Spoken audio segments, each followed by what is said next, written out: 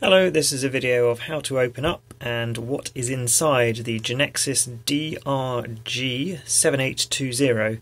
Uh, there's quite a few other videos on my channel about this same router, so if you're interested in it, you might want to look through some of the other videos. Ignore this stick of RAM, it's just hiding the serial number of the router. Uh, to open it up, there's a clip here, a clip here, and at which point this side of the case will can be pulled away and upwards. There is a clip there, which is slightly more difficult to undo, uh, and this part of the case can be undone. There's a clip here, which is very difficult to undo, uh, and at that point, everything will be kind of coming up except for this middle section. The middle section is released by putting a flat bladed screwdriver down here on that side, so uh, as close to the this bit here as you can and hinging it uh, there's a little plastic clip that you need to hinge away. So if you see down that hole there there's a I might be able to see a, a, a, uh, a retaining clip. You need to push the bit of plastic that's underneath it away. So there's the bit of plastic retaining bit of plastic there. That needs to get pushed away from the clip and here we have the insides of the router. Not a lot to see on this underside part. Now I've got both hands free. I can lift this up. So there's no clips holding the board in. The only thing that kind of holds it in is this power button, which goes through the hole in the case there. That's lifted that out. In the case, you've got some light guides that take the LEDs on the board to the front of the router casing on the other side of the board.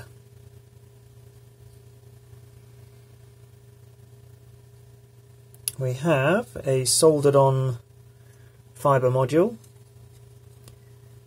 made by Mentech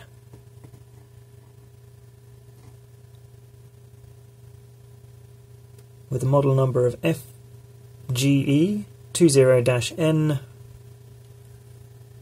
6C dash 35S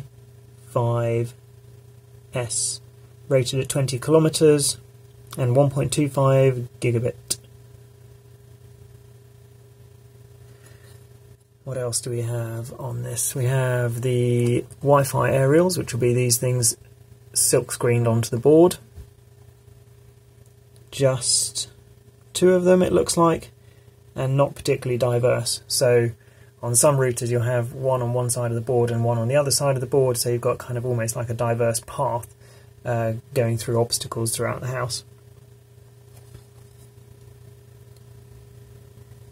And the word printed onto it, Genhydra, G-E-N-H-Y-D-R-A. What looks like possibly the serial connection either there or more likely over towards the fibre module here. So one of these is probably ground voltage send and receive for uh, using a debug terminal, which I'm I will definitely be trying. And other than that, huge heatsink, some shielding. You actually can put external antennas or your own antennas on this. There's uh, at least three connection points there where you could put antennas. I'm not sure what, so we've got, that's almost certainly Wi-Fi, these two, so that's probably the connection for that aerial there, the connection for that aerial there, and then over here we've got some much smaller, what looks, I wonder what that could be. But anyway, the, those aerials here are tuned much shorter.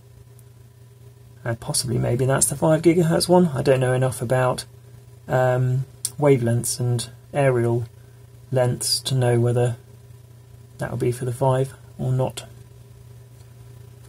The LEDs, which go through those light guides, um, and that's about it.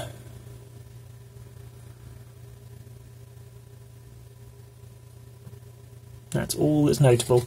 On this version, it's only got the one fibre module and it doesn't have the coax uh, cable TV um, RF over uh, fibre.